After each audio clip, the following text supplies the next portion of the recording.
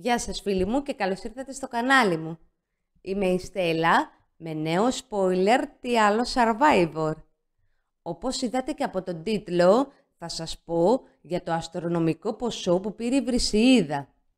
Η Βρυσιίδα αποχώρησε πριν το μεγάλο τελικό, όμως έχει κάθε λόγο να χαίρεται.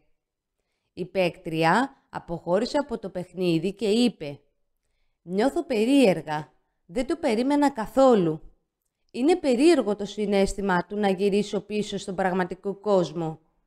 Στεναχωριέμαι πάρα πολύ που θα αφήσω την Ασημίνα μόνη της και τελείωσε η παύση που ήταν όμορφη για μένα, αλλά θα πάω στην αγκαλιά της μαμάς μου που μου έχει λείψει πάρα πολύ. Οπότε όλα καλά. Και αγκάλιασε τους συμπέκτες της και πήρε τα πράγματά της και έφυγε οριστικά. Σύμφωνα λοιπόν με πληροφορίες που κυκλοφορούν για τα ποσά που έχουν διαρρεύσει, η Βρυσίδα έπαιρνε 2.800 ευρώ την εβδομάδα. Έμεινε 20 εβδομάδες στο παιχνίδι, έλαβε λοιπόν περίπου 39.200 ευρώ για τη συμμετοχή της στο παιχνίδι επιβίωσης. Αυτό είναι το ποσό που πήρε η Βρυσίδα.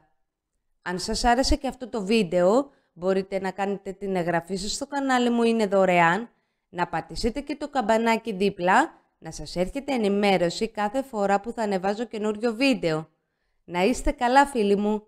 Γεια σας!